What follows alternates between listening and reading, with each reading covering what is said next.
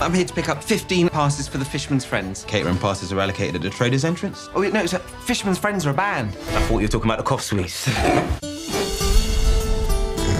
What's it like sharing a record label with Lady Gaga? According to her management, she's well chuffed.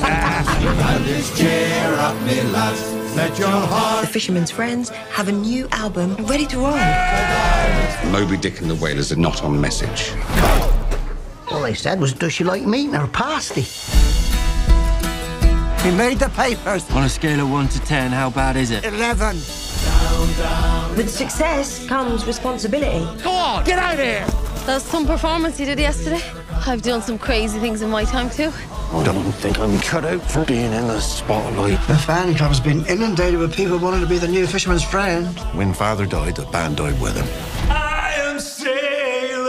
They want you. They want you. They want you as a new recruit. No, we bloody don't. Santiano won the day, heave away. All along the plains of Mexico. Please welcome our newest member of the band, Morgan Jenkins. Oh, you've had it right up to here. Father would be spinning in his grave. I quit. Time to cut them loose. Are you lost?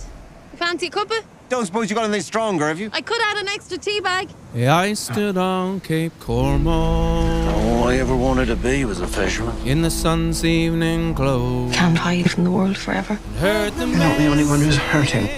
Your father has a chance to live on through song. Some things are worth breaking cover for. for all the small people. What are they doing it? Sing along never spoiled anybody's appetite.